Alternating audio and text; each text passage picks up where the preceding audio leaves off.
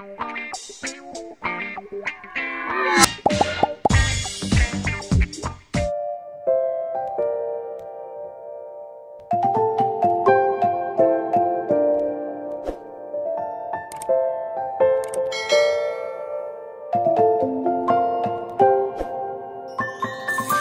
many places still undiscovered, but you're stuck in a.